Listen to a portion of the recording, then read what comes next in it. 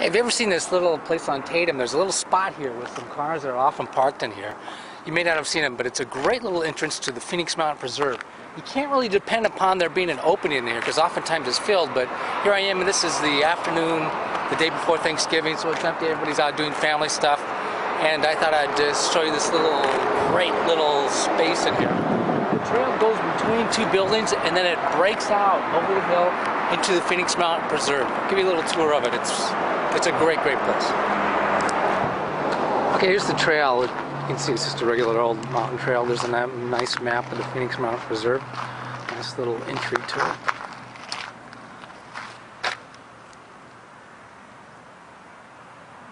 Okay, let's go take off on the trail between these two areas, between those houses on the right and houses on the left until we break into the open into the park. Okay, I've been jogging for a few minutes. And I'm almost broken free into the park. There's some houses on either side of me on this trail that goes up the wash. I saw a one guy on bicycle. Oh, this is, here he is again, going the other way. And then I saw another old guy. It was uh, jogging like me. So here we go. Let's keep going. Okay, I should have filled up the battery. I'm getting short, but here's a intersection of trails. I'm to head up and try to go through that saddle up there. And here's the 100 trail. The trail I've been on is the 100.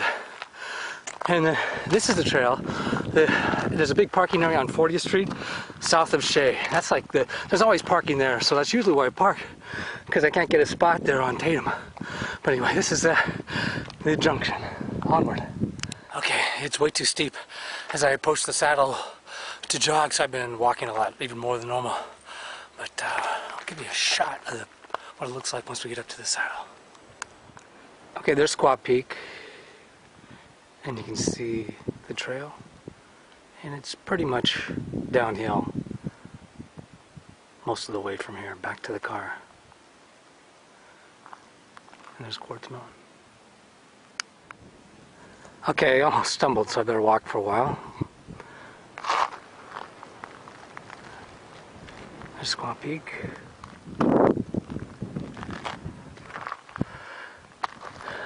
Here's the trail. I'm off the main trail now. This is a, smaller trail. The first trail I was on was 100, then the Mountain Trail is number 8.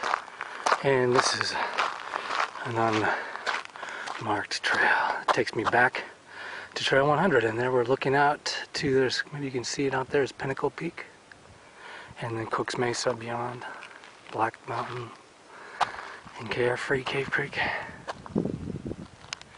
Okay I've been walking mainly for a while here and I'm headed back down to the parking lot on Tatum so I'm almost done with my walk here and I just I'm very grateful that I was able to find the time on this Wednesday before Thanksgiving that I weather was fantastic. I'm very grateful for that.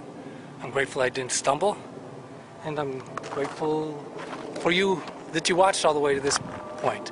And if you have any questions, you can email me at uh, john at johnwake.com. Have a great Thanksgiving.